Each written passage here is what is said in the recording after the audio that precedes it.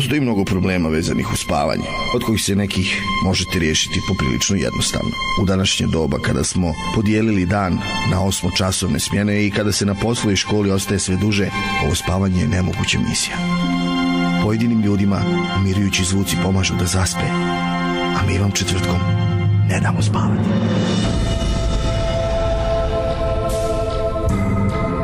Svakog četvrtka od ponoći Nes Radio vam predstavlja neke obične ljude sa pomalo neobičnim pričama. Nataša Margitić četvrtkom u ponoć predstavlja emisiju Pomalo lično.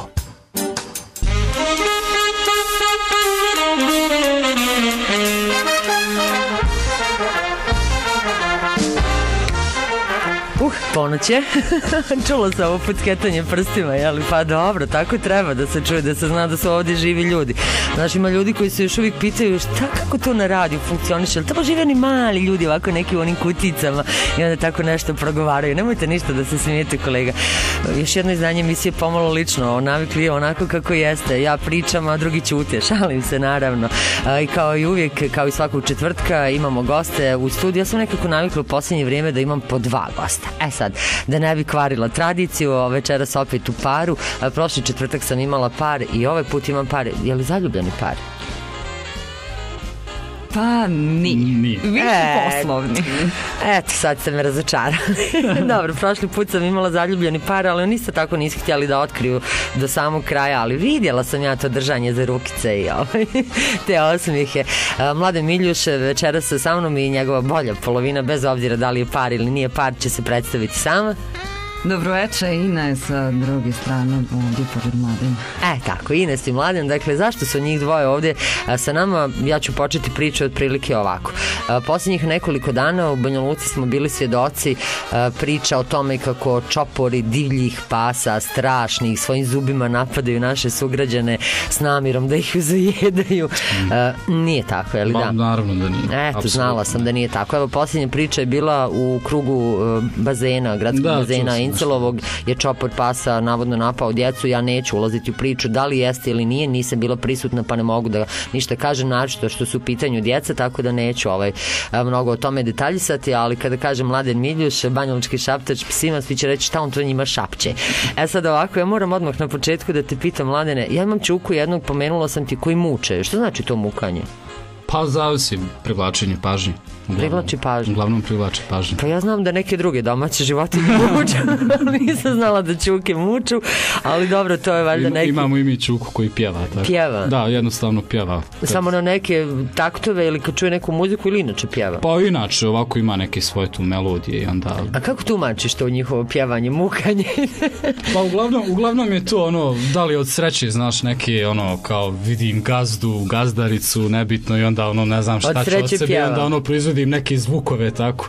Ono, au, Da, evo ja imam jednu kolegu, prijatelja koji ima udomljenog čuku, ne znamo koje je vrste i koje je rase i kada on zasvira usnu harmoniku, on pokušava da ga prati. Divno.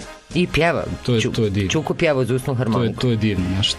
Je li to kom- stvarno je- je- pjevanje ili je to nek, nekakav To je komunikacija, to je, to je stvar ljubavi. Voli blues da pjeva, evo, odmah da eto. Dobro, za one koji nisu shvatili o čemu večeras razgovaramo e, i šta je naša te, večerašnja tema, dakle pričamo o psima, tim divnim našim ku- kućnim ljubimcima, ali oni su više od kućnih ljubimaca, oni su sastavni dio porodice onoga ko e, se odvaži na taj korak i primi e, psa u kuću, bez obzira da li ga kupi, dobije, nabavi ili ga udomi. E, ja bih voljela da pričamo malo više o tim psima koje mi udomljavamo e, i koji kod nas dolaze sa nekim svojim traumama, posljedicama. Upravo to su ovi psi koje sam ja pomenula malo prije, e, koji čoporom hodaju našim gradovima, ne samo u Banja Luci, već i mnogim drugim gradovima e, širom Bosne i Hercegovine. Ali hajde da krenemo mi ovako od početka. E, Gdje si ti otkrio taj svoj talent da na taj način komuniciraš sa psima, ne znam kako drugačije da to Pa nazovem ovako- ili da ih, ne pa mogu reći ni dresiraš. Da, ne, ne dresiram ih, ovaj, to mi, je, to mi je nekako više, ne znam, nije robotizovanje jedne životinje koja je... Pa ja, sjedi, lezi, Dođi, ne znam, nije, Kost, vidi lopta. tamo mjesto, pusti, tako ti je neke uznogu, ne znam, niznog, uzvodu, niznogu, nizvodu. vidi tamo lijevo, desno, ne znam, nija, sve je to zanimljivo do jedne ovaj, tačke, međutim, ovaj, e, ne pokriva onaj dio, znači, same psihologije pasa. Ono zašto pas radi to što radi, kako se taj pas osjeća. Ali misliš da on to radi iz straha, iz navike, ako govorimo o dresuri, dakle, kad psa učimo od malena, od... Zavisi, zavisi. Može biti više navika ako je baš mali pas kad vam dođe pa onda počnete sa njim raditi u neku osnovnu dresuru. Tu više se stiče navika kroz igru, znači te neke komande. Ovaj, kasnije, recimo, dajem primjer, psi od 10-11 mjeseci u godinu dana, on su do tog trenutka, do tih godinu dana, on već imaju svoja pravila ponašanja. Mi kao vlasnici im nismo dali strukturu ponašanja koja nama odgovara jer psi žive u gradskom okruženju, u stanovima, u kući. Čim im nismo dali znači to neko usmjerenje, psi su to preuzeli na sebe, imaju svoja pravila ponašanja i kako za sebe, tako i za vlasnike. Pa I onda dođe, i onda dođe, i onda dođe odjednom do neke discipline naglo i pas tad doživi šok. Većina pasa doživi šok. Jer s jedne strane imamo nešto što je bilo dozvoljeno 10 mjeseci njegovog života, a s druge strane odjednom imamo znači prekidanje upravo tih nekih aktivnosti i ponašanja i svega. Znači to pas dolazi u situaciju gdje mu ništa, apsolutno ništa nije jasno. Ja mislim, smatram da je to ovaj e, da to nije zdravo za jednog psa. Da je Nije to, zdravo. Pa naravno da nije zdravo. Jer sad zamislite vas uči, dozvoljeno vam je da radite što god hoćete, čitav vaš život i odjednom više ništa nije dozvoljeno. Ines, kako su tvoje iskustva? Ti isto Ima. imaš kućnog ljubimca ili... Ja imam e, jednog kućnog ljubimca koga sam e, udomila zajedno sa mladinom, međutim mi volimo reći da imamo tri zajednička psa s obzirom da su njih tri sve nekako našle put do nas i sve tri su i udomljene i sa prvom od njih Fridom smo nekako i počeli sa cijelom ovom pričom socijalizacije pasa. S obzirom da evo mladen, ja se sjećam tih početaka, mladen nije uspjevao na pravi način da, da dođe do Fride, odnosno tim Da komandama. komuniciram, nije bilo komunikacije uzajamne. Koje smo Ona sad svoje, ti spominjali. svoje, jel? E, upravo je tako bilo. Ti sjedi, ona legne. Ona nešto uradi, ja ne znam zašto je to uradila. Mene je to više interesovalo, zašto to nešto radi, zbog čega, koji je pravi razlog, ono, šta se tu nalazi u glavi. I onda je došla ženska ruka koja je to spasila, jel? Pa nisam ja to baš spasila, ja sam više primijetila onako da, da mladen ima neki instinktivni način da, da dođe do pasa. Odnosno da komunicira s njima na neki način koji mi možda kao obični vlasnici ne znamo. Ne razmišljamo o tome, razmišljamo da je pas ne znam, neposlušan, da on namjerno neće nešto da uradi, da on, ne znam, nije dovoljno pametan da nas posluša i slično, pa se mi tu ljutimo, frustriramo i svašta. Međutim, mi u stvari nismo svjesni da oni imaju svoj način komunikacije. I Mladen je tu putem nekog instinkta i putem nekog drugačijeg pristupa uspije u stvari da dođe do tog našeg prvog psa i da uspije sa njom da postigne ne pravila ponašanja nego to da ona razumije šta on od nje hoće i da oni nađu se negdje na sredini tako da i ona bude uravnotežena, smirena, da, da i on bude zadovoljan njenim ponašanjem. A kako mi da to naučimo? Evo, ja sam vlasnica, imam dva psa i nadam se nekako da sam uspjela da uspostavim neku komunikaciju. One su poslušne, mi se lijepo odružimo, sarađujemo. Međutim, e, poznajem ljude koji pokušavaju na sve moguće načine da psa nauče daj šapu, a on uporno Da, legne. da, da. Ja daj šapu, a on legne. na Pa koji to način? može biti to može biti interesantno ovaj ne znam ni ja u smislu znači da to bude kroz neku igru onda će ta veza između e, psa i čovjeka malo više ono malo jače da se ovaj uspostavi kroz tu neku igru kroz to neko učenje zajedničko a sada to baš psu treba to je već Da mu više treba to da diže To više treba nama Kao da mi ljudima. pokažemo kako smo uspjeli naučiti psa da nešto diže smo šapu. mi da mislim to opet pita njega A dobro, da šta je osnovno što treba da ga naučimo, da bi mi funkcionisali? Osnovno je, pa ovako ja to uvijek kažem, e, dozvolite vašem psu da bude pas. To znači... A ne kravice kao moje. Nemojte, nemojte humanizovati psa, nemojte ono sad gledat psa kao vašu bebu, kao vaše dijete, Uh, kao ovo, kao ono, mislim, e, pa se onda baš dobro i ne osjeća u toj, u, u toj ulozi. Jer to bi bilo otprilike kao kad, ne, kad sad psi se preuzeli neku kontrolu globalnu na, u svijetu i onda dođu nama ljudima i kao vi, vi od sad morate da lajete kad nešto hoćete. Normalno je da se baš ne bismo osjećali onako kako treba. I onda ja uvijek ljudima kažem dozvolite vašem psu da bude pas, dozvolite mu da bude životinja, dajte mu igru sa drugim psima.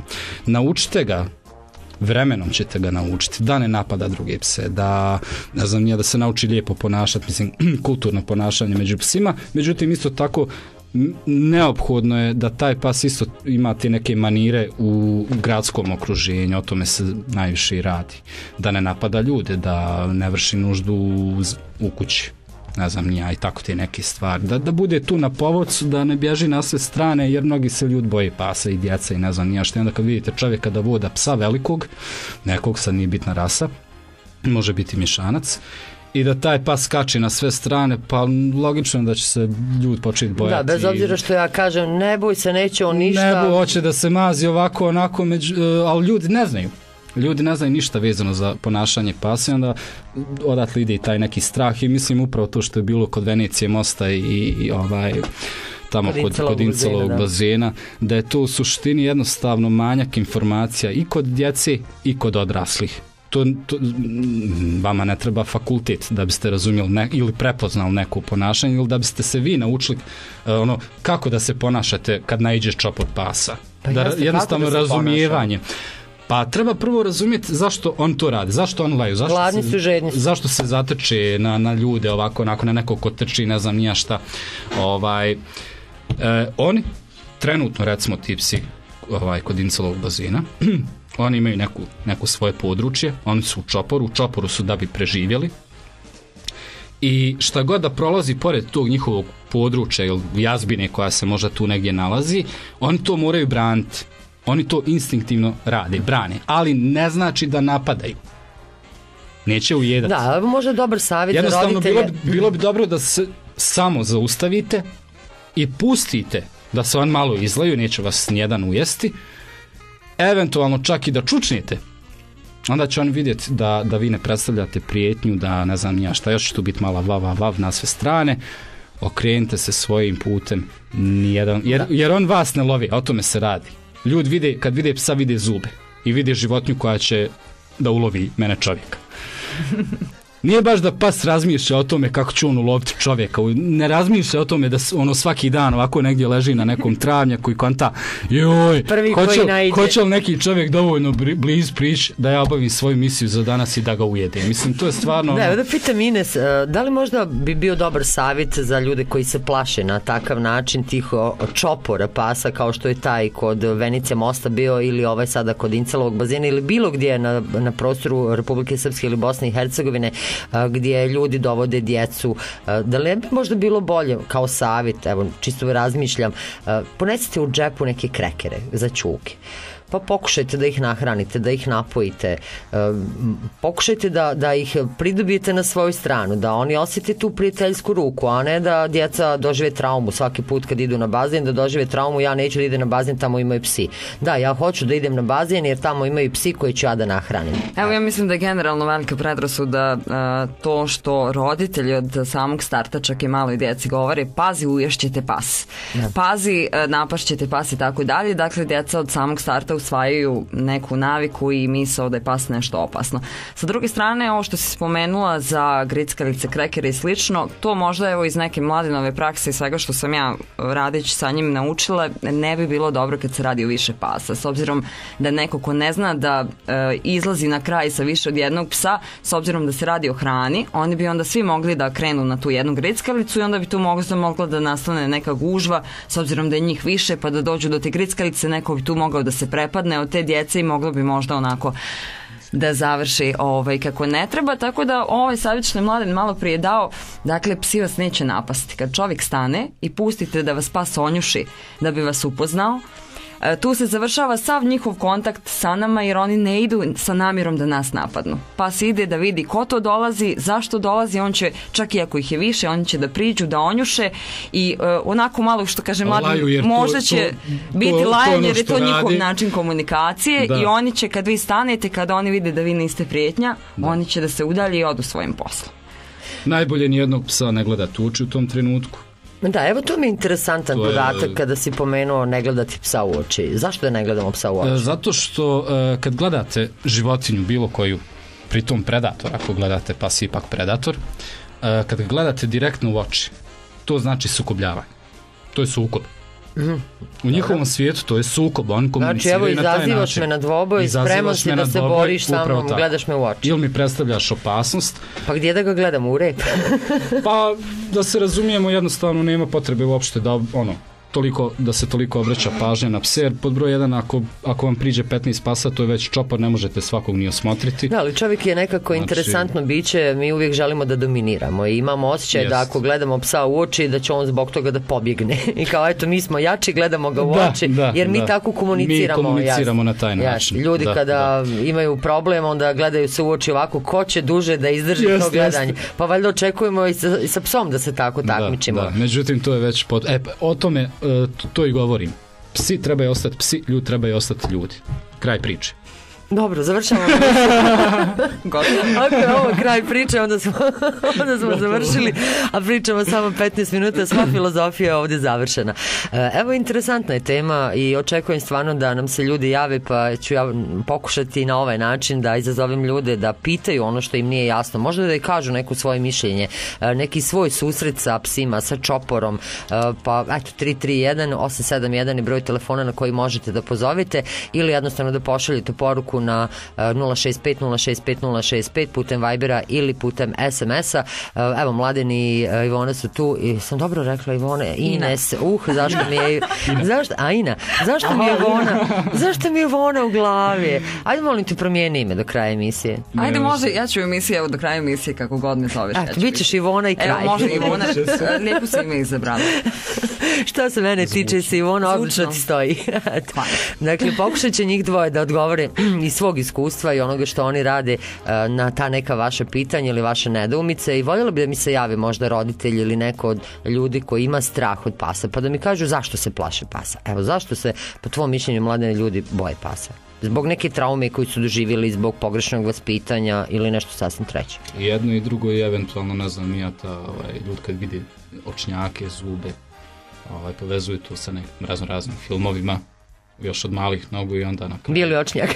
Bijeli očnjak ili ne znam. A zašto se ono ne sjećamo Lesi se vraća kući? E, recimo, da, da, da. Ili Da, ne znam, Beethovena i mnogih drugih filmova, ne bi bilo loše da... Da, pa jes, međutim kad ljudi vide, na primjer, Pitbulla, onda je tu kraj svaki ti E, tu hoću da te pitam, da, tu, tu hoću da te pitam, da li postoje opasne vrste Ne, ne, pasa, ne, apsolutno pasa? ne. Ne. Kako ne Postoje, postoje? postoje energični psi, ali oni se mogu naći i među ovaj, mješancima i među rasnim psima i u- imate recimo u leglu, dajem primjer, leglu nekog, nekih terijera, oni bi trebali biti svi hiperaktivni, međutim nisu. U tom istom leglu od 10 pasa imamo recimo tri hiperaktivna psa, imamo dva psa koja su onako negdje srednje, imamo dva ili tri psa koji nemaju jedva da hodaju, ne zato što slov, već jednostavno ih ne interesuje, takvog su nekog karaktera. Znači, ovaj, u suštini ne postoje ti opasni psi, postoje samo mnogo energični psi i ljudi koji nisu u stanju ispratiti potrebe svog, recimo, eh, ljubimca, ako govorimo o ljubimcima. Tako da ovaj, tu imamo I postoje opasni vlasnici. E, pa vlasnici, da, mogu postojati opasni vlasnici. Da, ljudi koji imaju problem sa svojim psihozama i nekim svojim jeli, čudnim ponašanjem, onda pokušavaju to isto ponašanje da prenesu na psa, Da, pa onda smo svjedoci, ali ljudi e, koji žele da budu opasni momci, Nije- obično da. vodaju bull terriere jer su čuli da. su to opasne rase ili ne znam, neke druge e, opasne vrste, jer to je, znate, fora da on samo nakon mišića nabildan vodi na boje i nabildanog psa. to što njegov pas ne može da se igra sa drugim psima, to što on ne može da se druži sa drugim vlasnicima, to je već... Neka druga To se, priča. to se ignoriše iako boli. Vidim ja da, Da, evo ti si boli. pomenuo, ti si pomenuo energiju i pomenuo si leglo. E sad, recimo ja sam neko ko želi da u, ima čuku i dođem negdje na mjesto gdje ima više pasa iz istog legla. Kako izabrati, kako prepoznati koji je to pas od njih pet koji će odgovarati baš meni? Kakva je vaša energija? Na osnovu toga birate takvog psa.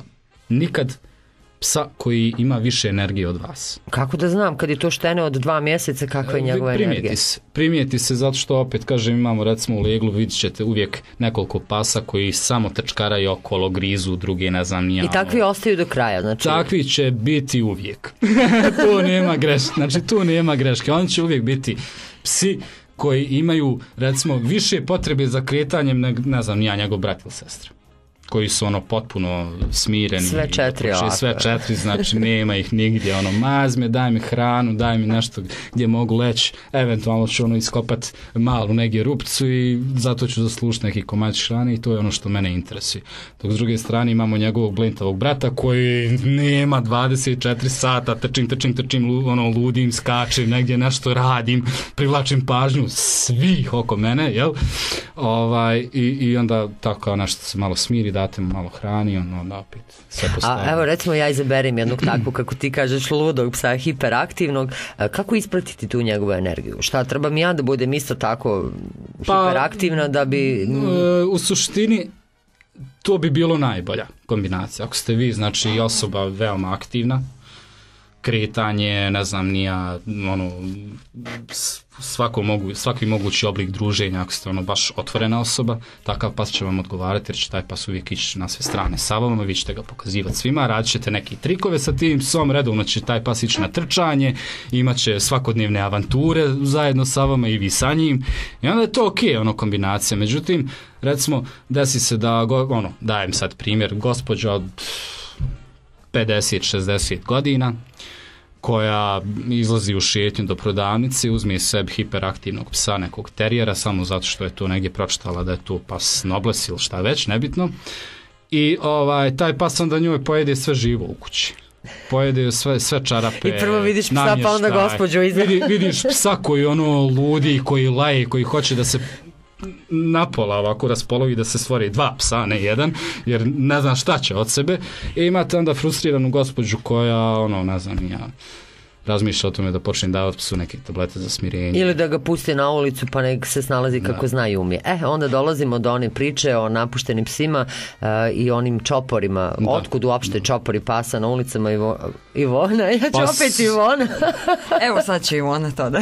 Sad će to nama Ivona lijepo ispričati. Pa evo, e, bila je nedavno priča i udruženja u Banja Luci i ljubitelji životinja su poslali jedno za- zajedničko saopštenje za medije kada je bila aktualna jedna od ovih priča o napadu pasa lutalica, a to je da su stvari svi ti psi ili vlasnički ili potomci vlasničkih pasa. Dakle, sve su to psi koje je neko ostavio, pa su onda ti psi dalje nastavili da se razmnožavaju međusobno i naravno mi smo i dalje svjedoci da e, na ulicama ima jako mnogo rasnih pasa s obzirom da se kod nas i dalje vodi borba to rasni psi mješanci i tako dalje, međutim mnogo rasnih pasa koji su napušteni. Čak i mnogo pasa sa ogrlicama koji vuku lanac i za koje niko ne želi da preuzme odgovornost i onda naravno s obzirom da u azilima nema mjesta, ti psi ostaju na ulici, razmnožavaju se i postaju sve veći čopori, evo kojih u Banja Luci ima na sve strane. A da, evo, zamolit ću te za još jedan komentar. E, Kako reaguješ na ovaj novi zakon koji su predložili u Skupštini grada da u stanu možeš da držiš ili smiješ da držiš samo jednog psa?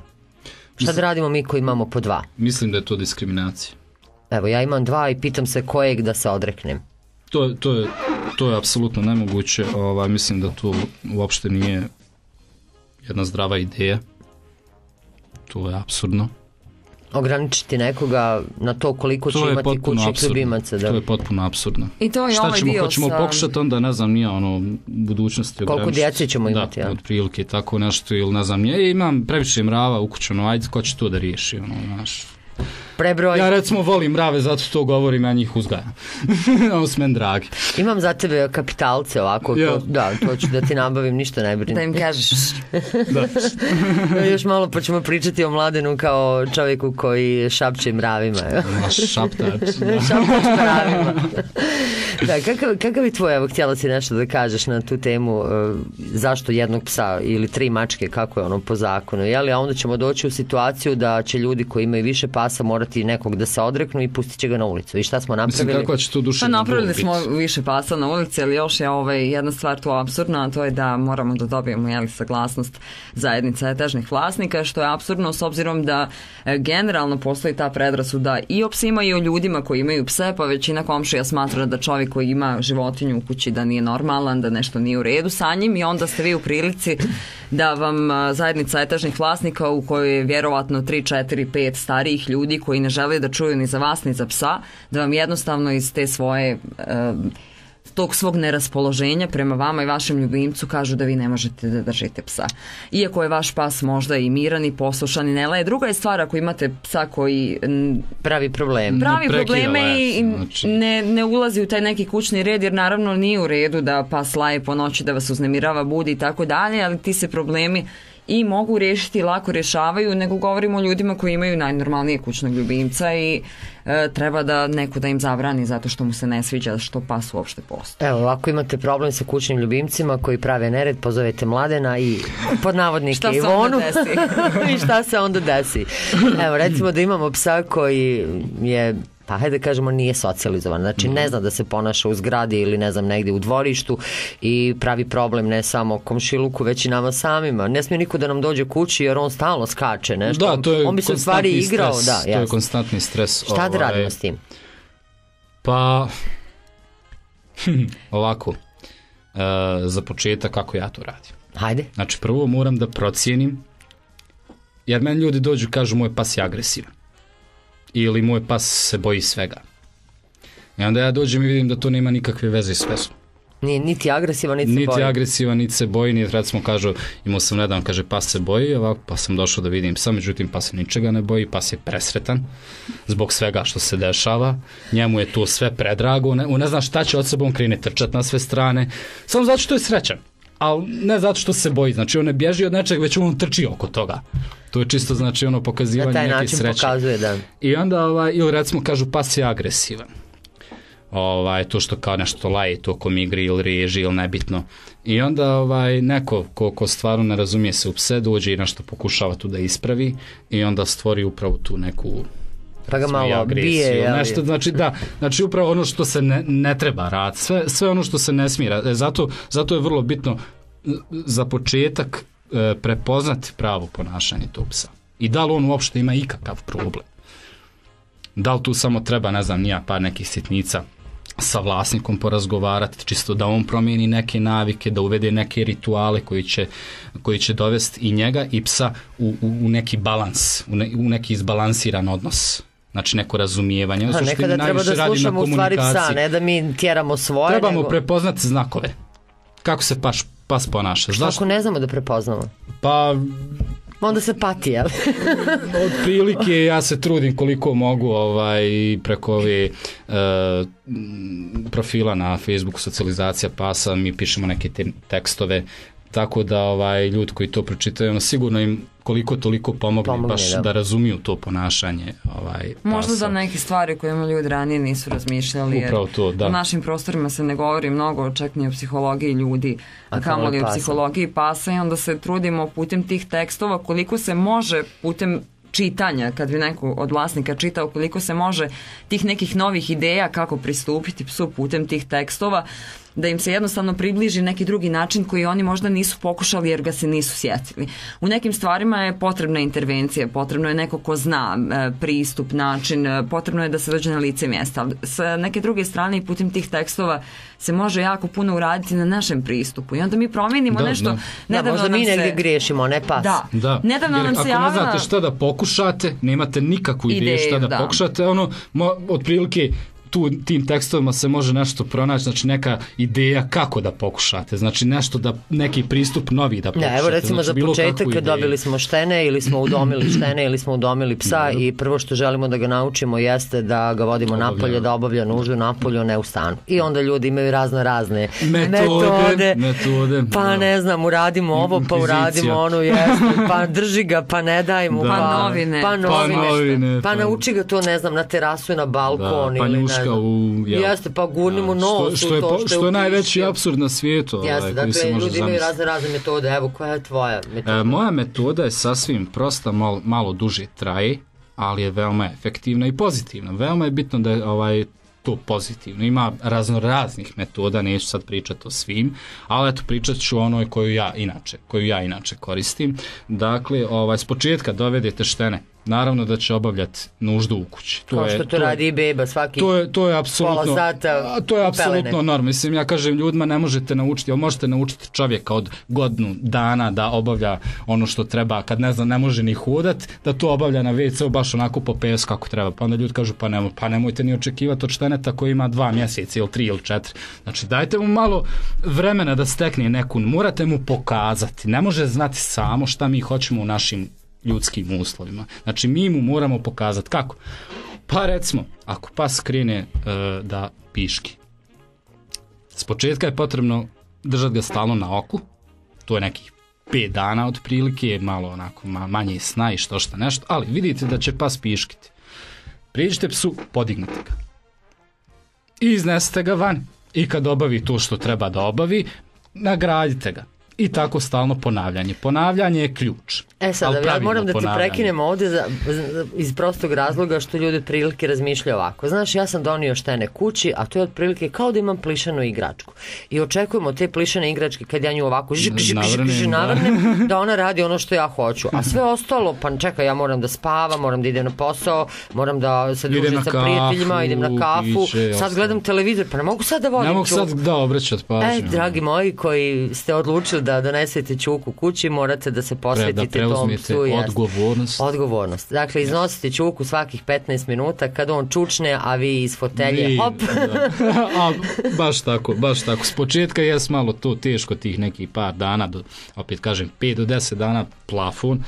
Ovaj, nakon toga pas će sam tražiti jer će shvatiti, aha, znači svaki put me prekinuo, svaki put sam izašao van, obavio, mislim neće baš razmišljati na taj način, to će više biti neka instinktivna reakcija, neki već stečeni refleks, znači trebam ići van, idem prema vratima, sjedim, cvilim, mašem Grebem. pićem, grebim, dolazim do tebe, guram te njušku, Mučim. molazim, mu, mučim te, ako spavaš, ne smiješ spavat, znači od danas pa nadalje tvoje vrijeme je moje vrijeme, prihvati to što prije ovaj čovječe i bit će mu super odnos. ako se naučio da spavaš poslije podne, nema toga više, jel? Ništa, ništa. Jer Nego prvo slijedi šetnje, pa onda spavanje. Šetnja, hrana, maženje, voda. Uf, svako malo se voda mora mijenjati. I onda tako kad ti spavaš, meni je dosadno. Mhm. ja moram s nečim da se zabavljam. A mi onda otprilike reagujemo ovako, ja je dosadnog psa, ajde u ćošak tamo. Joj, ajde. što mi je trebalo id na svoje mjesto. Mislim, to je stvarno onako. Čuk I treba. onda mi kažemo Čuko nije dobar. Čuk trebate, vol Čuko je jedna vesela, jedno veselo stvorenje i tako ga treba i vidjeti. Ah, divno je razgovarati sa ovim ljudima. Može maca, o, može maca, može maca, Možemo. može maca, a maca će nam pustiti muziku, dakle mali predah. Idem ja malo da zagrebim na vrata. Vrlo brzo se vraćamo.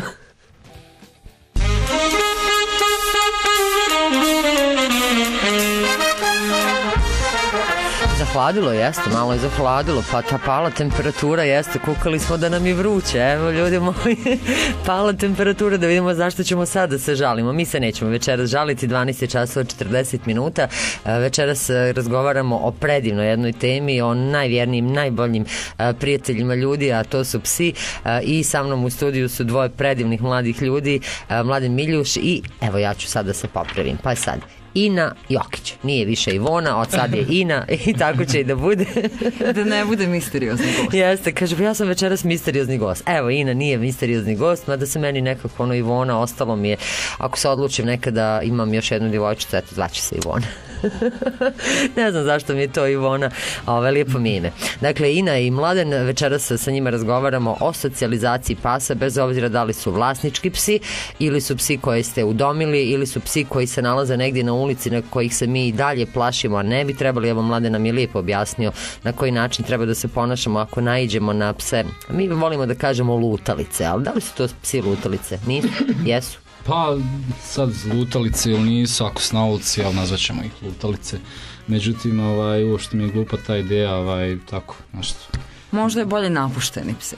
Možda je bolje jednostavno, eto, samo su psi živa su bića i, I traže ne- svoje mjesto pod suncem. Ako ih nećemo mi, oni će... možemo im pomoći, možemo im dati kad, ponekad hranu, vodu, što da ne napraviti neko sklonište. Bilo bi ljepše živjeti u, nekom normalnom, lijepom odnosu, imati neku interakciju sa svim tim životinjama, ovaj, nego ih ganjati, ne znam, ja po ulici. A misliš da se to može? Evo recimo postoje praksa u pojedinim evropskim zemljama gdje su ti psi koji su napušteni, koji se nalaze na ulici, e, na neki način zbrinuti od strane grada. To je jedan projekat koji smo i pokušali mi u Banja Luci, ali nikada nije zaživio do kraja. Dakle, to je e, kastracija, odnosno sterilizacija Da, da. e, pasa koji su na ulici i onda ih ponovo pustimo u njihovo prirodno stanište, odnosno na, opet na ulicu, negdje pod kontrolom grada, čipovani su. Međutim, šta se dešava dalje? Opet se dešava, jel, da ti isti psi koji su kastrirani ili sterilisani. Opet smetaju. Opet smetaju, znači uh, moje neko mišljenje uh, bi bilo da uh, ne bi bilo loše da se uvede neki oblik edukacije u po osnovnim školama. Nedavno sam negdje pročitao da, ovaj, da će se i to nešto početi valjda dešavati. Ali bi se trebalo više pažnje obratiti na to. Malo tu više gurati medijski i ostalo. Jer ovaj neće dolaziti do tih nekih nejasnih situacija jer psi su za nas, za nas, za većinu ljudi nešto što je nepoznato. Nešto što je nepoznato, toga se bojiš. I upravo iz tog razloga ovaj, smatram da ta neka edukacija više o mijenjanju svijesti o tome da je to živo biće. Pa onda i neke, ne, ne znam, nija praktične stvari pokazati praktično ponašanje tog psa, objasniti zašto je to tako, tako, tako. Onda bi ta djeca u osnovnim školama ovaj, ne bi se bojali pasa, prišli bi tom psu, nahranili bi tog psa, ili te pse, nevažno. Da, kako ne bi dolazilo do tih konfliktnih situacija. kako- Šta se desi, desi, gomila djece vidi psa i krene trčati. A Treba pas? djeci objasniti, ako krenete trčati, pas će trčati za vama. Da li zbog igre ili ne znam ni ja, zato što vas se boji ili zato što vas hoće otirati jer vas smatra za opasnost. Već jednostavno ono objasniti djeci, znači nemojte trčati. Pustite psa da vam priđe, pomazite ga, produžite dalje, nevažno, ono, bacite mu lopticu, bacite mu neki kreker, nešto šta god. Znači, čisto edukovati ljude, to je vrlo Da, važno. kako objasniti onda, evo, situacije, imali smo priliku da to ili pročitamo u novinama ili vidimo na televiziji pas napao dijete, izgrizao, ugrizao za lice, za ruku, za nogu. E, imamo onu situaciju kod Venicija mosta gdje je djevojka pala sa bicikla jer je pas trčao za biciklom. E, Što će pas pa uvijek se- raditi, bio on vlasnički lutalica, bilo koji, jednostavno to je nešto što je interesantno, to je nešto što se brzo kreće, to je nešto što stvara uzbuđenje, to nešto može predstavljati opasnost za mene, za e, moj čopor, za nebitno hranu negdje koju, koju je pas tamo negdje zakupao, bilo šta. To što će on trčati, lajat, vi slobodno zaustavite se, pustite nek vam pas priđe, nek vas sonjuši, nek vas zapamti sljedeći put, pošto je to bilo jedno prijatno iskustvo za tog čuku. Znači, Naišao je na novog prijatelja, Naišao je na novog prijatelja. ne, ne, ne, znači nije više ono e, okružen svijetom koji hoće da ga pogodi kamenom, da se izgalami na njega Da, i moramo shvatiti da su ti stvari. psi koji su na ulici pod traumom, da ljudi na njih svašta bacaju, da galame, jest. I to velikom. Pa onda se on, u stvari kad vidi ljude, oni Da, reaguju međutim na taj sljedeći način. put šta će se desiti? Pas će prići, opet će zaleti jer je to njegov posao. Priće, ono će vas, mahnut će repićem i ne znam, nije ono jednostavno ili produži svojim poslom, neće vas ganjati. Vremenom, kroz par puta, pas će vas primijeti, aha, to je taj dobri čovjek. Ja ga, ono, nemam potrebi lajati na njega jer ne predstavlja opasnost. Da. Sasvim je prosto, samo treba to da ljudi shvate. Evo, Ina, tebe ću pitati, jesu, pamtila sam, drago mi je. tebe ću pitati, evo mladen je pomenuo to mahanje repićem. E, ti znaš prepoznati recimo neko ponašanje psa, kako da razlikujemo kada on želi da se igra sa nama, kada želi da, ne znam, da nas gricne, e, kada želi nešto drugo. Dakle, koji su to neki znaci koje mi treba da prepoznamo kako bi bolje shvatili šta pas želi? Evo što se tiče ljudi, mi često griješimo u nekoj stvari, recimo kada prilazimo bilo da se radi o psima koji su na povodcu ili psima koji su ovako pušteni i naiđemo na njih na ulici. Psa nikada ne trebamo maziti i prilaziti mu tako što ćemo ići direktno rukom njemu na glavu. I Pa ni mi ne bi voljeli da nas mi ne bi voljeli. Da, da. A sa druge strane mi obično prilazimo psu sa jao čuko i tako dalje. To kod pasa stvara uzbuđenje. A e, pas kada je uzbuđen reaguje na načine koji nama već nakon nekoliko trenutaka neće odgovarati jer pas koji je preuzbuđen će krenuti da ili da gricka ili da skače ili da laje i onda je to neko ponašanje koje nama izaziva strah i onda mi počinjemo da se branimo i onda tu negdje počinje konflikt. Na- dakle, treba obratiti pažnju na način na koji mi prilazimo psu.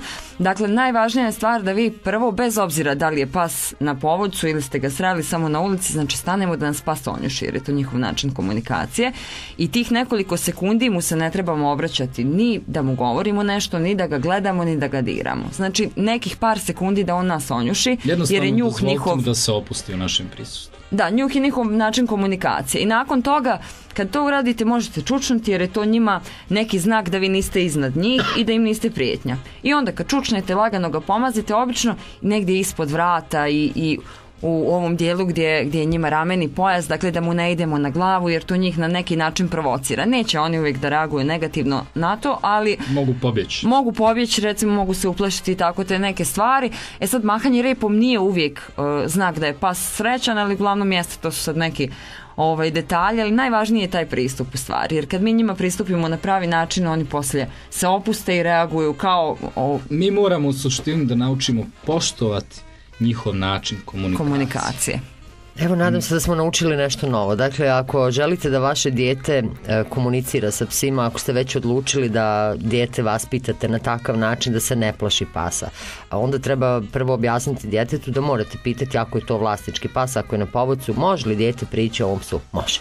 E, kako da priđe dijete psu? Evo na način na koji ste I- Ina je objasnila lijepo, dakle e, stane dijete, pustite ga malo ispod vrata, malo po ramenima kako mi to volimo da kažemo i pas će biti presretan, a dijete će biti zadovoljno jer je napravilo nešto veliko u svom životu, dirnulo je psa. E sad, bez obzira da li je mali ili veliki, oni reaguju na isti način. Sam ja u pravu, jesam? Apsolutno. Joj, volim kad sam u pravu. Nego da se ja priključim tom timu pa da šapćemo zajedno Ma može, da. Šta da ne? Dobro, ovo je dakle jedan od dobar način e, kako e, komunicirati sa psima. Ti si rekao da e, evo to je njihov njuškanje je njihov način komunikacije. A kako naučiti psa da komunicira sa drugim psima? Evo ja imam štene recimo na primjer koje je staro ne znam 5-6 mjeseci i želim da ga naučim da kada izađemo negdje na livadu ili u park za pse da nauči da se igra s njima a ne da od njih bježi ili da ih se boji. Da li mi to treba da ih učimo ili oni to negdje instinktivno imaju u sebi? Pa imaju naravno instinktivno nešto, ovaj, međutim mi smo tu da ih usmjerimo, tipa recimo ovaj, ako vaše štene koje recimo može imati 5 mjeseci, znači već je malo i snažniji pas i ne znam ni ja šta, počne lajati na druge pse, ujedati. Mi smo tu koji trebamo da ga, Da ga smirimo. Da ga smirimo. Da ga odvojimo, da mu damo neku komandu koju već čim nam je došao, recimo govorit ćete ne. Evo ti si pucnuo sad ovako prstima, ili koristiš to često? To, to, to, je- to, to, mi je jednostavno. ne, da li to koristiš u komunikaciji sa ljudima ili to koristiš u komunikaciji Koristim i u komunikaciji sa ljudima i u komunikaciji sa psima. Jel reaguju oni na taj Reaguju. pucketanje? Zašto? Da. Pa u pitanju je tajming. Kod pasa je u pitanju tajming. Hajde objasnim. Pa recimo ovaj, to što ću ja pucnut jel, prstima ili se izderat na psa ako sam pogriješio tajming neki ili nešto, pas će me apsolutno ignorisati jer nisam ni spriječio neko neželjeno ponašanje, niti sam ga usmjerio u tom pravom nekom trenutku. To je ono, obratite pažnju na svog psa. Dobijete štene, posmatrajte ga. Nemojte ga pokušavati na silu privoliti, da vam vjeruje, da nas... Posmatrajte ga. Svaki je pas različit. Svaki pas ima svoje različito ponašanje. Ja ću od sad ovako da razgovaram s ljudima. E, to je onaj trenutak, znaš, kao ono... I dovoljno, dok ja pucketam prstima... suštine, dum. ja, dok ja pucketam prstima, sve je dobro. Sve je u redu. Sve je dobro. Sve okej. Vas dvoje radite u tandemu, dakle da li radite, a ja imam problem, udomila sam psa ili ne znam, imam psa koji ja smatram da je neposlušan, ne komuniciramo kako treba, ne znam šta da radim s njim, e, ludi komšije, luda ja, već je sve ono na, na puca, ivici pucanje. Jedini. Čuko kaže, bože šta je mi ljudima, pa Sve su oni nešto ništa veseli, stalno skaču, Ništa vrište oni mi, ja ništa Mora njih da ne razumijem. E sad, kako ja pozovem vas dvoje i kako, na koji način e, radite, kao tim ili... Pa radimo kao tim s tim da, s obzirom da je mladin e, najčešće na terenu sa psima i da nije u, u prilici čak nekad ni da se javi na telefon, a pogotovo ne na naše Aha, stranice znači on na radi sa psima, a ti sa vlasnicima. Jeste, ja se u stvari ovaj, e, prvo čujem sa ljudima i onda ih usmjerim na mladine jer je to prvenstveno ovaj, njegov posao. E sad ja sam tu da mu pomognem oko tih stvari koje ne može da stigne, ali uglavnom nam se ljudi jave i napišu nam na Facebooku jer im je tako najlakše, napišu nam svoj problem. I onda ja njih usmjerim uh, da se obratim mladim. Nekada se taj problem može riješiti nekim savjetom, međutim ako niste iskusni u tim nekim stvarima u komuniciranju sa psom, možda mi savjetom možemo da pogriješimo, odnosno da pas odreaguje kako ne treba, pa smo onda oprezni s tim savjetima. Da, Stvarno, veoma oprezni, jer čovjek će uraditi, e, vlasnik će uraditi neku vježbu, dajem primjer. Ali neće će uraditi do kraja. Ali, ali neće uraditi do kraja, niti će uraditi na pravi način, što će stvoriti potpuno suprotan efekat. Ili će možda pogriješiti, evo kao što si ti pomenuo da je bilo primjera da ljudi kažu moj pas je agresivan, on u stvari nije da, agresivan. Da, da, da. I ti To je- daješ je- savjet da spričiš tu njegovu da agresivnost, da, za vamo tim. je, ovaj, nešto sasvim drugo u pitanju. Tako da ovaj, prilično pazimo ovaj, s tim. Zato smo oprezni sa tim savjetima i zato ovaj, ja znam da mladen voli reći ja to moram doći da vidim. Da vidimo u suštini da li je ta procjena vlasnika da nešto s psom nije u redu, Da, da, se vidi... treba bilo kakav rad. Da, Da li A radite li recimo na ovakav način kao što smo imali priliku svi koji vole pse i koji eto žele da nešto sa- saznaju o tim divnim bićima, gledali su vjerovatno na televiziji, pošto sad eto imamo i tu mogućnost jednog od najpoznatijih jeli, ljudi koji radi na socijalizaciji pasa, to je Cezar Milan, mada mu mnogi prigovaraju, jeli da? Mnogi mu prigovaraju. On je, on je, on je Ali evo ima i oni koji kažu da je on agresivan prema tim psima, da je taj njegov pristup i nije baš dobar. A, Dakle, Upoznat sam sa tim, međutim više se tu radi o privlačenju pažnje psa.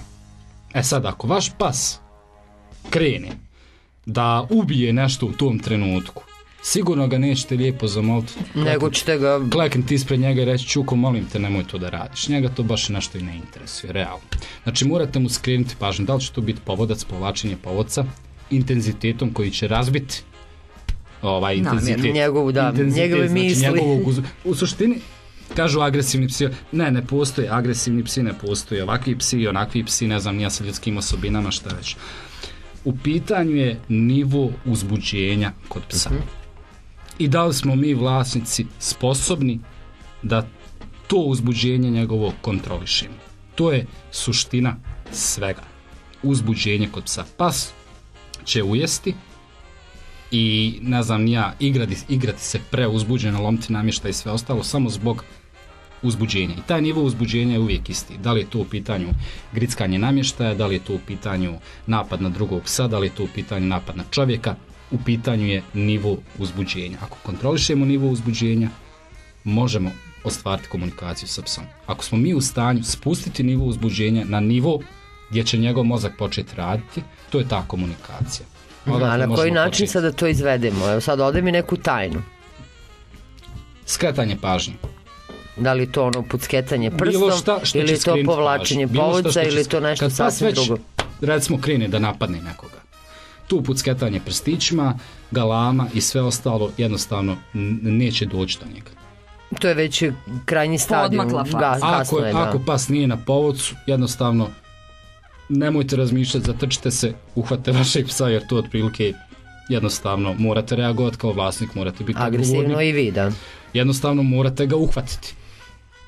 Odvojiti ga od situacije u tom trenutku, bar malo, bar koji korak, ono, na, I onda ga neka sjedni, znači, jednostavno malo se strpti, pustiti ga da se on malo smiri sam od sebe, onda slijedi komad sjedni, nebitno lezi ili šta već što, već, što je već pas naučio, bilo šta što će, što će mu postepeno spuštati to uzbuđenje, znači taj nivo uzbuđenja, da će, znači ići sa 10 na 9 na 8, 7, 5, 6, nebitno 3, 2, Dakle, vjerujem da si odgledao sve emisije, epizode Cezara Milana. Nažalost nisam, volio bi, ali Mnogo ih ima, mnogo jel? ih je stvarno, znači baš ih je, no, ne znam nija koliko sezona ima. Da, da li radiš, evo, to sam htjela da te pitam, zato sam ga i pomenula na način na koji on radi. Dakle, da pse koje ne možeš da vratiš u normalu, hajde da tako kažemo, a, radeći kod kuće, Dobro, gdje sa- pas sa bude sa vlasnicima. već da ih dovedeš negdje na, kod sebe, u stan ili neko tvoje okruženje gdje, Pa gdje obzirom, ćeš ih naučiti s obzirom ono da treba. trenutno ovaj, nemam uslove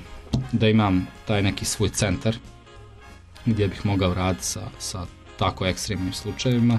Postoji druga metoda koja je sporija, malo se ja više tu napatim, jednostavno izvodim sa ja, bez vlasnika, neko vrijeme, mjesec dana, dva mjeseca, tri, nije važno, dok ne usvoji neke nove navike.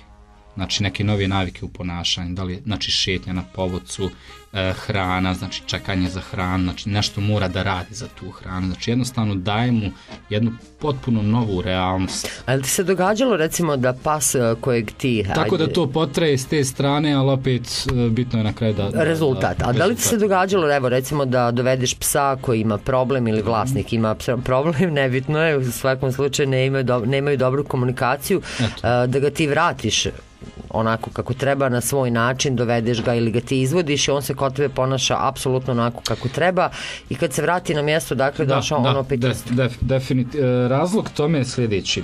Upravo te navike. E, sad imamo e, jednog psa koji, je, koji ima jednu sliku realnosti, sliku znači potpune stvarnosti. Kad je sa svojim vlasnikom u tom okruženju, on se tako ponaša. To ono što on zna. To ono što on naučio, prihvatio, e, to ono što je vlasnik na kraju jednostavno svoje jer nije imao alata da dođe do njega i oni su jednostavno nastavili živjeti u toj stvarnosti. Ono što ja uradim, e, Poništava se. jednostavno zamijenim tu stvarnost jednom drugom stvarnošću kod psa. Kako? E, vremenom svakodnevnim načinom, trudom- metodama. svakodnevnim trudom ponavljanjem hiljadu nekih e, Da, evo Ina ima i Ne, možda je najvažnija stvar e, ovo što si pomenula, zašto se psi vraćaju u to prvobitno stanje, jeste zato što e, Mladen stalno napominje vlasnicima da se sa psom mora nastaviti raditi. Ne postoji neka čarobna metoda gdje vi psa promijenite i dobijete novog psa koji to. će to je lijepo to. da se Magični ponaša. štapić ne postoji. Na nekim ovaj, klasičnim dresurama psi nauče komande koje će naravno slušati i kad dođu kući. Međutim, ovdje se ne radi o komandama, radi se o stanju svijesti i radi se o njihovom o njihovom ponašanju. Ponašanje nisu komande. I onda ako vi ne nastavite raditi sa psom na tim novim navikama, nakon što ja nakon što neki se dio što pokažem kako, kako, onda to nema efekta jer se pas vrati samo na ono prvobitno stanje odakle je počeo. Jer je on jedno vrijeme je bio, već. radio je nešto novo i onda se vratio tamo, vlasnik je nastavio da radi isto što je radio i ranije pa se vraća u to neko prvobitno stanje. Tako što da, je veoma opasno da se razumijemo. Ovaj, ja sa ljudima kad počinjem raditi, ja njima kažem, moj jedini uslov da radim sa vama, jedini uslov je da istrajete u tom.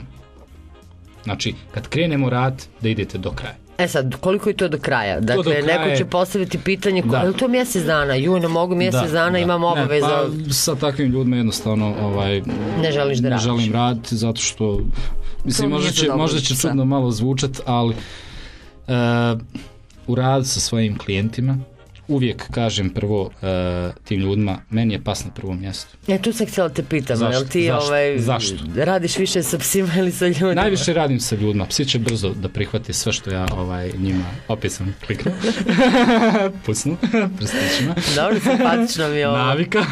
Imam ja još pitanja, samo ti nastavi. ovaj, e, psi brzo usvoje sve novo.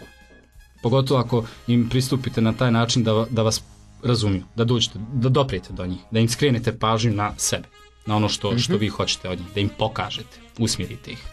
S druge strane, e, ljudi bez obzira što jel, mi ljudi sebe smatramo za superiorna bića u odnosu na pse, ispada da je nama ljudima veoma teško prihvatiti neke tako proste stvari, tako jednostavne stvari gdje, gdje apsolutno nema potrebe za bilo kakvom filozofijom, šta više, što manje priče, što manje komandi, više posmatranja, e, više tog uspostavljanja emotivnog odnosa sa psom, to donosi rezultate. I recimo, bilo kakav pas sa bilo kakvim ponašanjem u 10 dana, 14 dana, nebitno, će e, potpuno da promijeni tu svoje A pa- a čovjek neće dobro. sigurno. Međutim, sa ljudima je malo, malo teže i onda to ne- nekad zna potrati i po par mjeseci. E, sad imam još jedno pitanje ovako, čisto iz eh, nekog, hajde kažemo, ličnog iskustva, meni bliskih i dragih ljudi. E, recimo, dvoje živi zajedno u stanu ili u kući negdje, e, sa, sa mnom se ponaša na jedan način, a sa osobom B se ponaša potpuno na drugačiji način. Dakle, kako uskladiti ljude koji žive u jednoj zajednici da se ponašaju isto prema psu kako bi se pas ponašao sa svima jednako? Sa svima isto, pa da se... Ili recimo prije podne e, boravi sa jednom osobom i ponaša se na jedan način grozan je, strašan je, neposlušan je, e, Nemoguće, sva, sasvim nemoguće, na sve moguće načine me izluđuje, a onda dođe osoba broj dva totalno imamo drugog psa. I Čuko se smiri. E sad, kako pa, to... Pa moja preporuka je da osoba ova... a, Broj jedan. broj jedan, osobi broj dva kaže od danas ti tako radiš sa tim čukom. Tako se ponašaš sa njim, tako znači kompletnu komunikaciju imaš na taj način. Kao i ja, jer, u mom, jer kad je pas blizu mene, on je fin i smiren i veoma srećan pas. Ovaj, kad je u tvom prisustvu on ludi, dakle, zbog dobrobiti psa, hajde da ono, uskladimo naše priče. I, I onda ti on kaže šta misliš ti si nešto bolji od mene onda E, to nastane je, svađa. evo, Ina zna kako to funkcioniše, jeste. Jeste da bi, kad bi to u životinskom svijetu mi živjeli, ali mi živimo u nekom sasvim drugom svijetu gdje vladaju ljudi, gdje postoje različita mišljenja, sukobi, um, zašto sad ti pametniji od mene, pa šta sad ja, hoćeš da kažeš da ja ne znam da vas pitam psa i onda dobijemo problem. Možda bi bilo najbolje da se ljudi dogovore da se sa tim kućnim ljubimcem e, da se ponašaju isto. Da se oni dogovore ako, ne znam, treba pas da jede na taj način, da mu ti ne daješ, recimo ja mu dajem posudu tako što mu stavim i tražim od njega da sjedne i da sačeka dok ja tu posudu spustim, a ti mu daješ tako što mu guraš u njušku i on skače i onda tu nas ne problem. Kažeš mu, molim te, možemo li mu davati na ovaj način, to je bolje i za njega i tako dalje. Znači ljudi bi trebalo u suštini, psi reaguju na energiju, ovo zašto si rekla da je u nečijem prisustvu pas lud, da u nečijem prisustvu je smiren. Dakle, to u suštini sve zavisi od toga kakvi smo mi i raspoloženja i energije i kakvi smo došli iz posla i ne znam iz škole i tako dalje. U suštini oni se, istina da se drugačije ponašaju s drugačijim ljudima jer oni osjete u kakvom ste vi stanju. Oni osjete ka- kako se vi osjećate i kakve ste vi energije. E sad, e, cijela porodica ili dvoje ljudi ili nebitno, e, trebali bi stvarno da se usklade da se na isti način ponašaju sa psom, jer je e, ovo što je mladim pričao za vlasnike nakon rada sa psom, nakon što on odradi nešto sa psom, pa poslije se pas vrati u prvobitno stanje. Isto je tako i u porodici. Vi ne možete postići ništa sa psom ako cijela porodica ne sarađuje. Ne sarađuje, baš I onda bi-. Da. Onda bi ljudi Ključno. trebali, makar okvirno, da se dogovore da, Da, da. svi e, postupaju sa psom na isti Ono ne moraju svi psa izvoditi, ali aj molim te kad pas zaleti, reci nebitno ne. Čisto, znači tu je, Da sad, to tu je sad tvoj zadatak koji ti trebaš da uradiš. Eto. Pa dobro, evo ja recimo imam problem, ja Čuku pustim na krevet, a neko drugi ne dozvoljava Čuki na krevet. I šta da radimo, Čuku Zašto- naviku da je zašto to bio problem? Pa eto, Čuku hoće na problem. krevet, nije problem. Nije problem, mada je uvijek moj savjet je ovaj ljudima čisto da bi Čuko vas naučio poštovati, jer ipak i vi njega poštujete. On ima sve hranu, krov nad glavom, izvođenje, igru sa drugim psima, ljubav, znači sve je tu. I ono, čisto ono, ajde da uspostavimo neki malo stabilniji odnos. Ja ću tebe, Čuko, pozvati na krevet, da se ti fino maziš i da mi spavamo tu zajedno. Aha, kad ja kažem može, onda može. To je, to, to je zdravo. To je zdrav pristup, jer Čuko ipak vas gleda, znači vi mu donosite hranu, vi ga izvodite. Vi, vi, vi ste ipak neki tu, neka figura, neki autoritet, neka sigurnost za njega. Jel osjete oni ljubav? Mi često kažemo mene moj pas voli. Jel oni stvarno znaju da vole? ne, kako da ne. Vole. Ču, čuke osjećaju. Osjećaju. Čuke osjećaju. Sve što, ako mi volimo Čuku, Čuku nas voli. Jel vjeruješ u... Vole nas i kad mi njih ne volimo. Da, evo to sam htjela da kažem. Podsjeti nas da je ljubav bitna. Da, jel vjeruješ ti Ina da psi mogu da prepoznaju e, neka naša raspoloženja? Evo ja sam stvarno imala e, priliku da se uvjerim u to lično iz nekog svog stvarno ličnog primjera e, kada mene boli negdje nešto da pas to osjeti. Oni sve osjete stvarno. Znači ne samo raspoloženje, tugu, sreću ili to, nego stvarno fizičku bol. Mogu oni sve da osjete, čak o, ja sam nedavno i čitala istraživanja da su ovaj psi korišteni za otkrivanje raka. Eto, dotle je napredovala nauka da njih koriste da, da prepoznaju dijelove u tijelu koji, su, koji imaju kancerogene. je, tako treba. Pa jeste, napredovala je. Oči.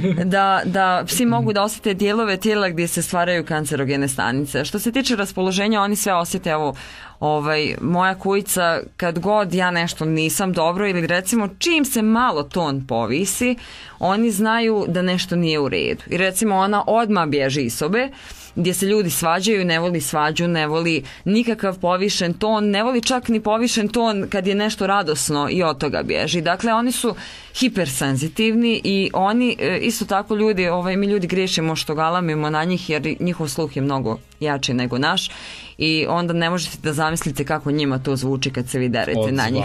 Jer e, inače mi ljudi smo skloni da se deremo jedni na druge, da galamimo i onda time dajemo do znanja da nešto nije u redu. To u psećem svijetu u suštini ne funkcioniše tako jer njima taj... Moram ovo da napomenem, mi kad se deremo e, u njihovim očima, mi postajemo nestabilni. i slabiji od njih. Da. To je vrlo bitno za shvatiti. Mi smo Ne- nestabilni. Mi smo e, bijes, tuga, e, ne znam ni ja, Frustracija, uznemirenost. to su slabosti u njihovom svijetu. Uhu, onda su to, ovaj, mi smo njima lak plin. Onda, Upravo tako.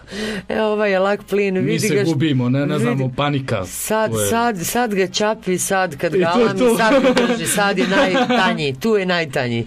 Aha, dobro, evo, Mm, treba prekinuli smo. Inu, da, Da, imala je, imala je Otišla je dobar... misao, otišla je misao, dobar sjetit ćemo nalet. se usput.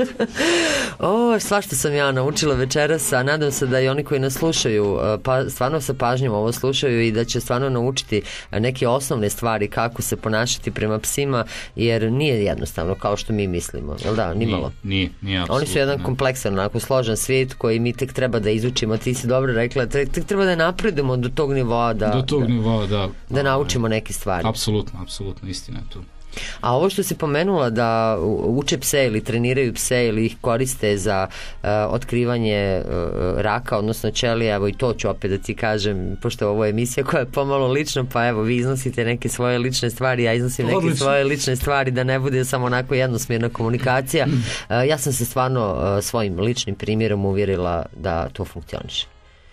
Dakle, pas stvarno može da prepozna e, pojedine dijelove tijela koji vas bole. I uporno danima e, postavlja glavu i njuškicu i njuška ono mjesto jeste i grabe i šapicom i želi da e, ne znam kako da to najbolje objasnim, ali kao da želi da svojim dodirom ti olakša to mjesto koje te boli. E, Možda i da ukažu na to da nešto nije u redu. e baš to. Kao da se brini, eto. Jeste. Zna se desiti da ljudi uh, dođu iz bolnice, recimo potpuno su obučeni, imaju odjeću na sebi i tako dalje i pas naravno ne može da zna da je čovjek došao iz bolnice, da je imao neku operaciju i nešto, oni automatski idu na ranu i guraju njuškicu da dođu do rane, da je Da ližu, ližu. jer uh, i njihove te bakterije su š- u suštini od pomoći za otvorene rane, ali uh, odmah instinktivno idu samo na to mjesto. Kad recimo se dođete iz bolnice sa nekom ranom na stomaku, imali ste operaciju, oni instinktivno idu na na Da, evo mjesto. nedavno sam odgledala primjer e,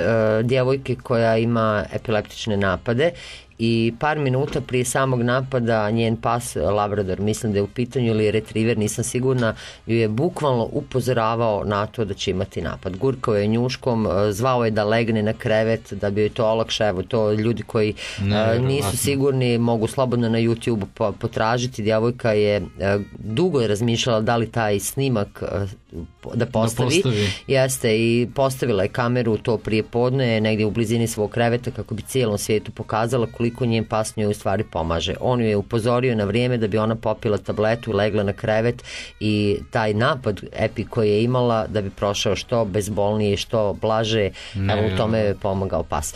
Dakle, moramo shvatiti da su oni nama prijatelji, a Prijatelji. ne prijetnja kakvom je mi vidimo sa zubima koji reže sa svih strana, onako kako sam ja to na samom početku e, najavila. Dakle, oni nisu nama neprijatelji, ne žele da nas e, izujedaju, izgrizu, osim ako ih je čovjek takvima napravio. genio.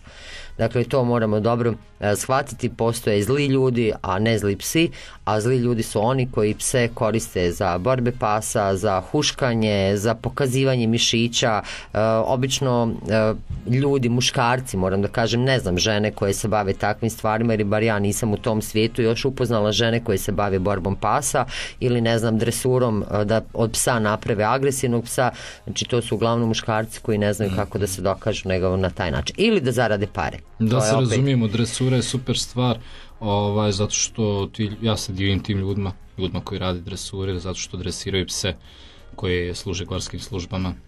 Jeste, za otkrivanje droge i drugih znači, stvari. To, to, su, to su jako korisne stvari. Ovaj, tako Evo da- kad smo pomenuli dresuru za otkrivanje droga, e, na koji način oni njih uopšte na, nauče to? Ne znam.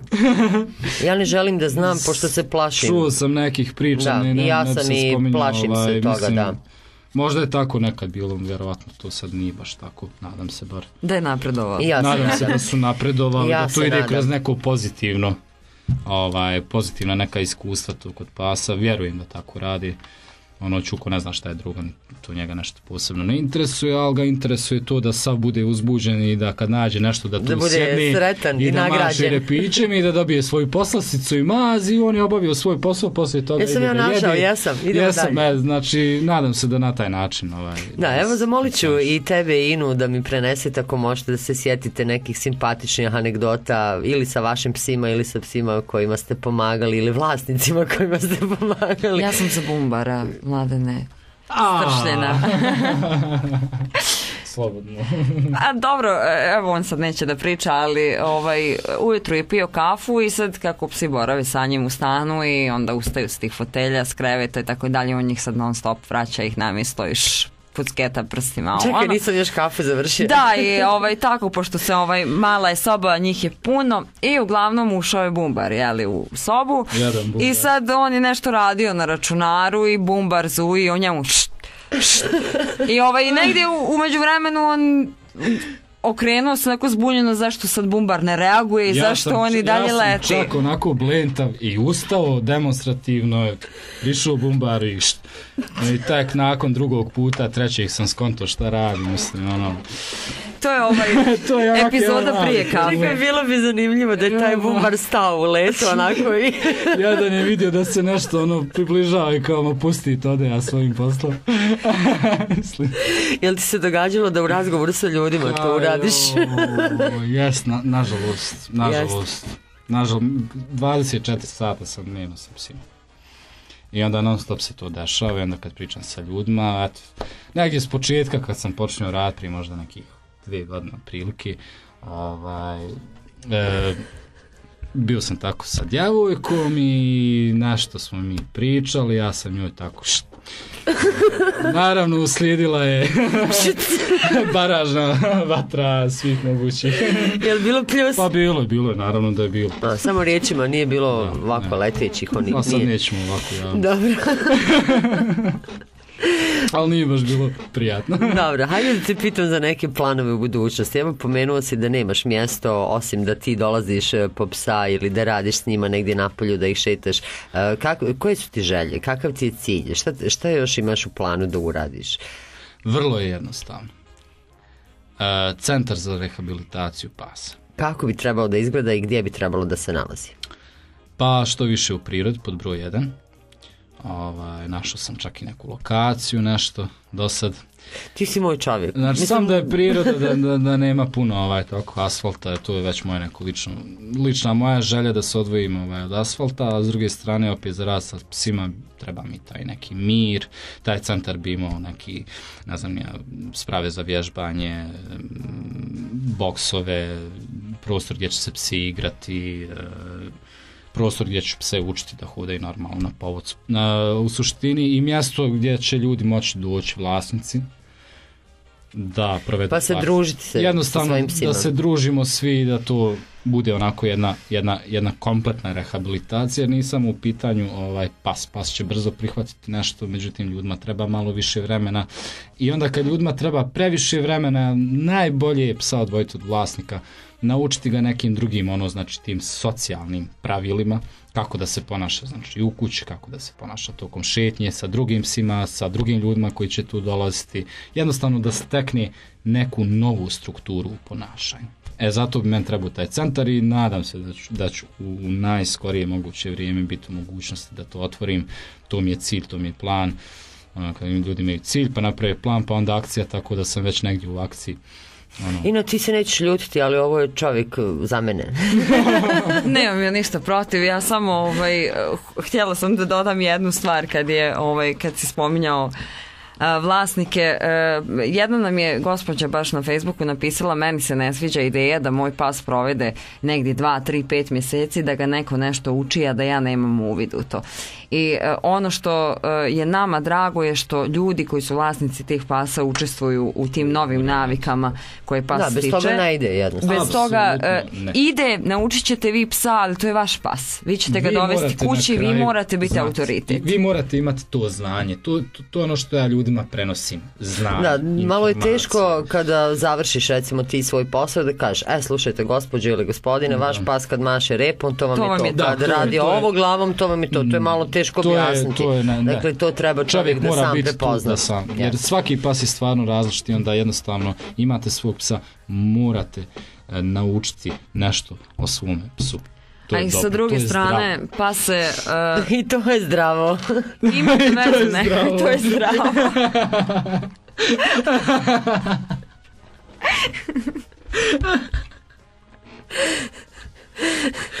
Pada mi na pamet jedan vic, ali neću ga ispričati. Otprilike s tim zdravo.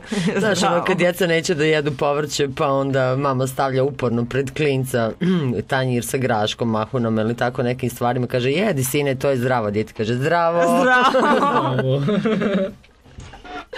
E, tako otprilike i sa psima je zdravo. Šta ste imali? Eto, no šta da radimo sad? šta da radimo sad, osim da Macu zamolimo da nam on pusti, ja u Maca molim te, pusti nam onu pjesmu što sam ti tražila. Nemaš pjesmu. Who let the dogs out? Strašno. Ništa, pjevat ću vam ja. Neće, šalim se. Ići će neka druga pjesma da mi malo vratimo se ovaj, iz ovog smijeha. Treba nam onaj mladenov ovaj klik. Eto, klik je bio. Ide muzika.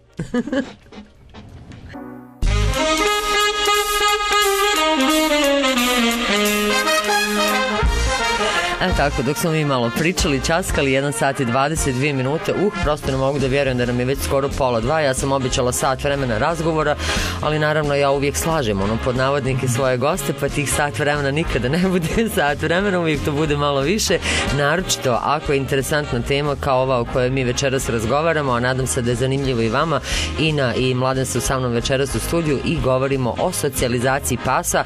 Ja bih prije rekla o tome kako naučiti ljude da e, usklade svoj život sa životom psa kojeg su doveli u stan, kuću ili jednostavno su ga sreli negdje na ulici. E, oni žive svoje živote, mi živimo svoje živote i onda to negdje treba nekako uskladiti. Evo, mladen i Ina su pokušali e, da nam prikažu samo jedan dio ili jedan detalj onoga što oni rade e, i način na koji oni to rade. E, Ina nam je pomenula samo neke ovako detalje iz tog njihovog iskustva i onoga što su oni već preživjeli, proživjeli ukoliko želi neko od vas da ih kontaktira i da potraži pomoć, evo Ina možda gdje mogu da se obrate.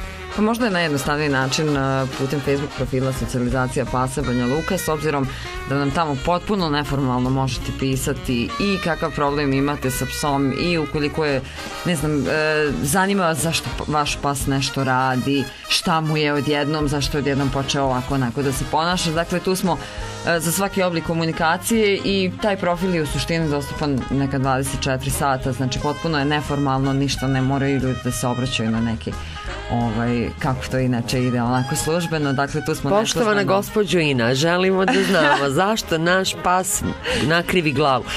Zašto I psi, onda obavezno s poštovanjem i velikim slovima. Da. evo, zašto psi krive ovako glavu u stranu? Šta rade to? Radoznalost. Radoznalost. Ali ne radi to sve psi. Ne rade svi. Kako sad ja da znam koji radi, koji ne radi? Mi imamo recimo pitbullove, Staffordi, ne znam ja. Kod njih je baš specifično da tako nakrive glavu kad nešto posmatraju novu. Nešto ih interesuje. Možda i mijenjaju ugao, jel? ono, Kao, ne vidim te ovako dobro, nego hajde malo nakrivim glavu. Možda Samo da kažem vidjeti. slušalcima Veoma da njih blizu. dvoje krive glavu sada. To veoma blintavo izgleda.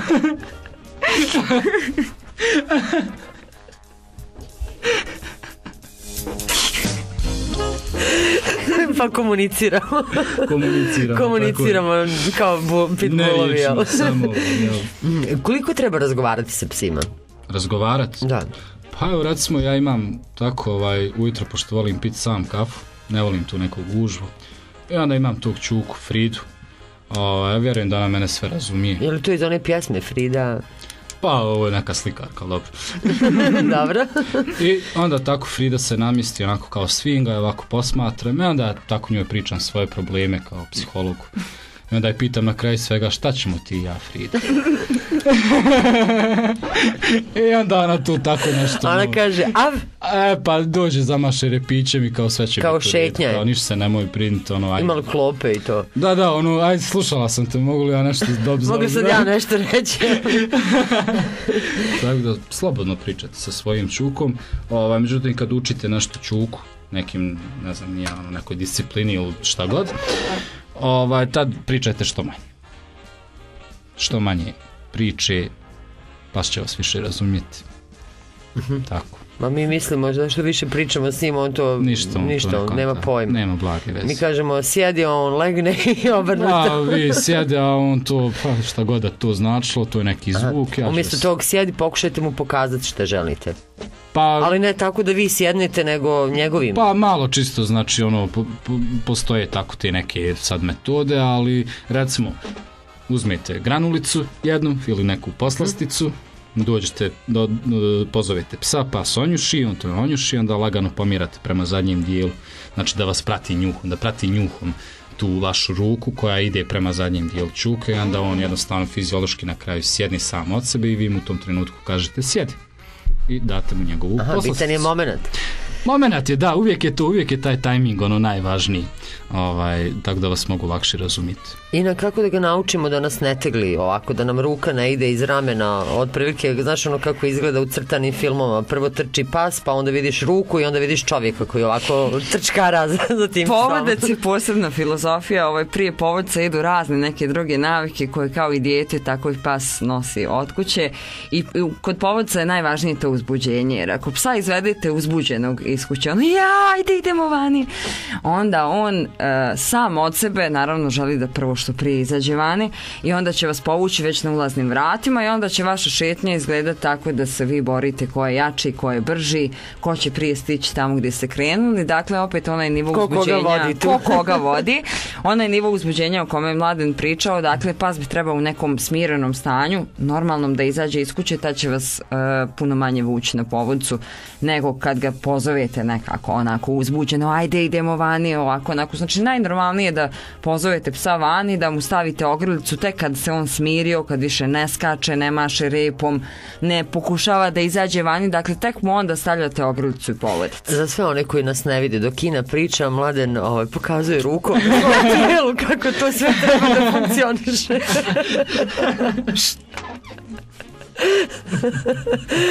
da, volim da se nasmijemo u ovim večernjim satima i ne sjećam se da smo vam u posljednjih nekoliko emisija ovoliko se smijali kao što se smijemo večeras, a ja sam potpuno sigurna da oni ljudi koji e, znaju o čemu mi govorimo, dakle o tom druženju sa psima, i otprilike raspoloženje je na ovom nivou. Kada se družite sa tim predivnim životinjama, onda otprilike imate ovakav ritam i tempo.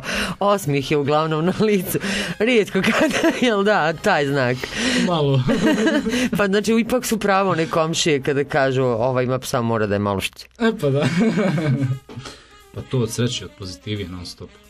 Ne, ljudi, ljudi nisu navikli da su drugi ljudi srećni. Nisu, to, to, je, to je to. već, u, Kao vidi ga sretno šta mu je. možda se drogira. A možda i neke crne magije, nešto. A mora da je loša žena, ima 35 godina, ima pašće u kući, pa bolje da se uda i rodi djecu. Kako ti Ina kad reaguješ na takve stvari? Ja, pa dešavalo se i meni ovaj, da mi kažu bolje da vodiš dijete nego tuđu kilu i tako, ali mislim da te stvari u suštini nemaju mnogo veze. Zašto ušte ljudi porede psa i djecu? Pa to- Zašto ne bi mogli imati i dijete i psa? Pa to je valjda taj neki ustaljeni obrazac, ne znam čovjek više šta bi rekao. Ne znam stvari vaš razlog, ne razumije zašto vi to imate psa, Da. pa onda... Zato što volite. Da, ali to mnogo ljudi ne razumije. Kao suludo je voli, voljeti pse. Ne, već kao uopšte šta će životinja tu na primjer. Kao to je životinja. To je, to, To je za dvorište. to, to, to je ništa, to je niži oblik postojanja. To je... Da, to je otprilike ona ideja koju su ljudi sebi ko zna kada prije koliko hiljada godina uvrtili u glavu da smo mi jedini korisni na ovoj planeti i niko, ništa drugo i niko drugi nije nikakve treba koristi. i tako dalje. Jasno, mi možemo sami, a u suštini nismo uopšte svjesni da mi uopšte nismo superiorni. Dovoljno je malo jača kiša da nam padne i eto, I velikih problema. Da. Pa ne, moje mišljenje je samo ovako, znači e, ta glupost, ovaj, mi smo superiorni, to je totalna glupost po mom mišljenju, ovaj, psi i druge životinje jednostavno komuniciraju na svoj način. Mi taj tu komunikaciju ne možemo ni za hiljad godina nećemo potpuno shvatiti, ali to sigurno ne mora značiti to što mi njih ne razumijemo ili on nas, da smo mi u odnosu na njih nešto iznad. Da, zašto mi ne Imamo učimo nešto prava, od životinja? Da, prava, da imamo više prava na ovu planetu nego oni. Da, da, upravo tako. I na život. Ovo je naša planeta, Ovo znate. je naše sve, znači. Mi smo ti superiorni, mi ćemo psa staviti na povodac, zarobiti ga. Svezati ga na metar lanca, hraniti ga jednom u pet dana, Kad nam zasmeta negdje na ulici, mi ćemo ga... šutnuti. Ne, spavat ćemo ga jer smeta. Da, ima raznih komentara, treba to puškom pobiti, Da, da, mislim, treba se- otrovati. Stva- stvarno, to je, to je stvarno loše. To čak i ne želim ni da komentarišim. To je monstruozno. I nazadno jedno razmišljanje, ljudsko, nazadno, ozbiljno nazadno. Tako da ne znam uopšte kako mi ljudi sebe možemo nazivati human, humanim ili ovaj, pričati uopšte o humanosti. Dok god na taj način se ophodimo prema živom svijetu koji isto tako ima pravo na ovu planetu Zemlju kao i mi i na život i na sve ostalo. Jesi vegetarijanac? E, djelomično. Tina? Ja nisam. Nisam. Da, ja što sam starija se više razmišljam o tome. U suštini, Tu si u pravu, da, tu si u pravu, valjda se s godinama rađa se ta neka svijest o tome i jednostavno ne možeš više da izbjegneš tu misao da bi možda trebao da, da razmišljaš u tom pravu. Definitivno. Ja sam se odrekla definitivno šnicle, ćevapčića i ostalih. Ukusni jesu. Ukusne stvari, I da. ukusni jesu, ali evo, ja sam se odrekla i... Ali zdravije za naš organizam, kako sam Upravo razumio. tako. ovaj. Ne iz neke prevelike ljubavi, zato što ja volim nešto, ne znam, prasiće ili ne znam, telence, obožavam i divni su, krasni su, ali za Boga mi smo ipak um, ti koji njih jedemo i teško je promijeniti svijest ljudi, ali jednostavno, evo, upravo iz tog razloga zdravije. Ako ništa drugo. Ako ništa. Ako ništa Opet drugo. smo se i došli na- do toga može da je tu- zdravo. može se na taj način. Zdravo. Zdravo je. Zdravo je. Zdravo. Zdravo. Jel to treba da znači da mi stvarno ovaj, završavamo emisiju, jedan je sat i 32 minute, išao bi neko spavati, a mi toliko pričamo da jednostavno ljudima ne damo da spavamo. Uh, pošto to i jeste otprilike moto ove emisije, ljudima ne damo spavati. Jer noć nije za spavanje, noć je za druženje i noć je za lijepe razgovore i uvijek možemo nešto naučiti iz tih razgovora. Hvala Ini, hvala Mladenu. Hvala vama. Nadam se da ste zadovoljni. Ma mi smo uvijek prezadovoljni, Mi- pogotovo kad dobijemo da. priliku da pričamo o ovakvim stvarima, uvijek Onda je, jesmo. onda je super sve. Evo, vi ste moji ljudi od sad pa nadalje i u buduće, pričat ćemo mi još o ovakvim stvarima i nadam se da ćemo se vidjeti opet i da ćemo imati priliku e, da razgovaramo ne samo o e, psima, već da ćemo jednog dana razgovarati o ljudima koje smo uspjeli da promijenimo i da neke stvari kod njih malo drugačije funkcionišu. Eto. Mi smo pričali da o psima, psi ništa nisu krivi, mi smo krivi za ono što se događa njima. Progotovo onim psima koji su na ulici i sutra kada naiđete negdje na napuštenog psa koji je pokisao, koji je hlad, kojem je hladno, koji je gladan, koji se smrznuo, kojem je povrijeđena noga, udario ga auto, šutnuo ga neko, nemojte samo pogledati i reći a jadan i proći dalje. Pokušajte mu pomoći na neki svoj način, a mi se družimo ponovo sljedećeg četvrtka, o čemu ćemo razgovarati. Uh, teško mi je poslije ovoga smisliti još neku interesantnu temu, ali već ćemo nešto iščeprkati i skopati. Eto, od mene toliko, e, laku noć i prijatno. Postoji mnogo problema vezanih uz spavanje, od kojih se nekih možete riješiti poprilično jednostavno. U današnje doba kada smo podijelili dan na osmo časovne smjene i kada se na poslu i školi ostaje sve duže, ovo spavanje je nemoguća misija. Pojedinim ljudima umirujući zvuci pomažu da zaspe, a mi vam četvrtkom ne damo spavati. Svakog četvrtka od ponoći Nes Radio vam predstavlja neke obične ljude sa pomalo neobičnim pričama. Nataša Margitić četvrtkom u ponoć predstavlja emisiju Pomalo lično.